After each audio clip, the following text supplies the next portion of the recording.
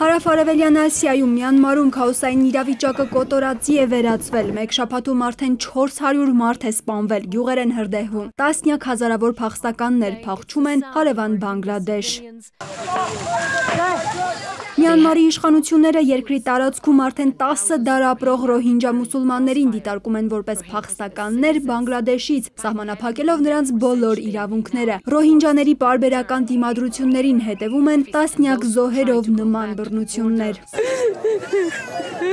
Այս անգամ հարյուրավոր մարդկանց կոտորածը սկսվել է ռոհինջաների զինված թևի հերթական դիմադրությունից ոստիկանական անցակետի վրա հարձակումից հետո։ Մյանմարի իշխանությունները պնդում են սպանվածներից 370-ը զինյալներ են։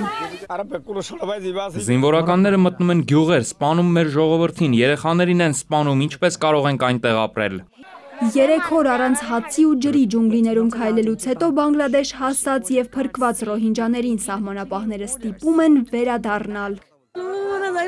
Եթե հետ գնանք, մեծ կսպանեն, նորածին երեխաներին են սպանում։ Չեմ ուզում վերադառնալ, չեմ կարող։ Նրանք, ովքեր փորձում են վերադառնալ հրաձգային ուղիղ կրակի տակ են հայտնվում եւ սա տեսնում են նաեւ սահմանապահները, բայց պնդում են, իրենց գործը սահմանը պաշտպանելն է massive firing is going on. Ինտենսիվ կրակը շարունակվում է, մենք ձայներ ենք լսում, մարդիկ են գալիս այդ կողմերից, նրանց հոսքը չի դադարում։